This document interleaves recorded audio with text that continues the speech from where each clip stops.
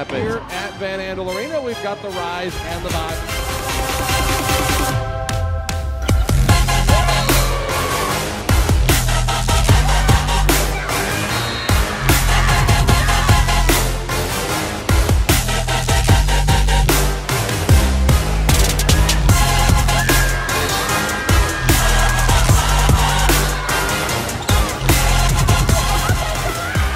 Atlanta's got a chance to close. Lazareva gets it down, and the Atlanta Vibe on April Fools.